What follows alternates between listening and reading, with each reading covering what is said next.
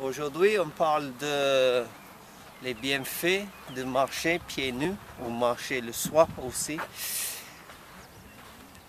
On parle de les calories et on parle de la thermogenèse. Il y a plusieurs bienfaits de marcher pieds nus pour l'état hormonal. Il y a l'amélioration de la santé microbiale parce qu'il y a des microbes dans la terre, dans le sable, dans l'herbe et on a un euh, mélange de microbes, bactéries et virus et on a des, des animaux de cette planète. Aussi, il y a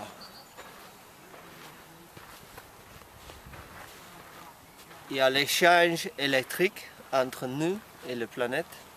Ça, c'est très bon pour la santé. Et aussi, ça aide avec le thermogenèse. Avec les pieds nus, tu as pris froid plus que tu marches avec les chasseurs, les chaussures.